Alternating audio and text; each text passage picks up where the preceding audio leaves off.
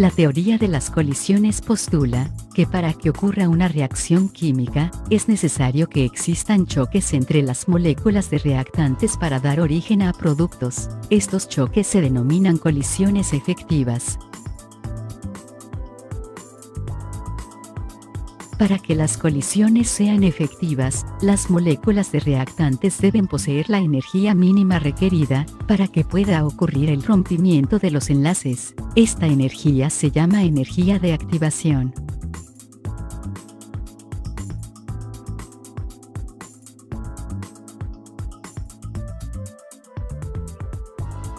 Otro requisito para que las colisiones sean efectivas es que los choques entre las moléculas deben efectuarse con una determinada orientación para que ocurra la reacción, porque la posición en la que colisionen los átomos determinará si es posible la formación de nuevos enlaces.